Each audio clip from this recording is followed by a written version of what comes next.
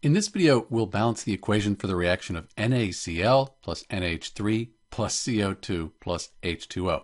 And this is just one step in what's called the Solvay process. And the goal of that is to make this Na2CO3, sodium carbonate.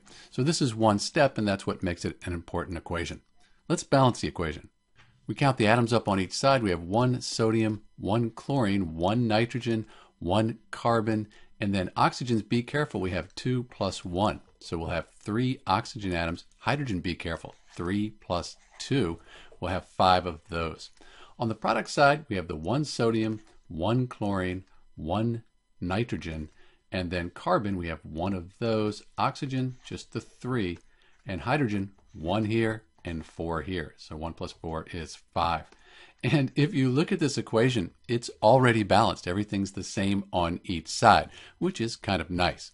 If you wanted to write the states for this reaction, they look like this. There's a link in the description that explains this whole process here if you need help with that. This is Dr. B with the balanced equation for NaCl plus NH3 plus CO2 plus H2O. Thanks for watching.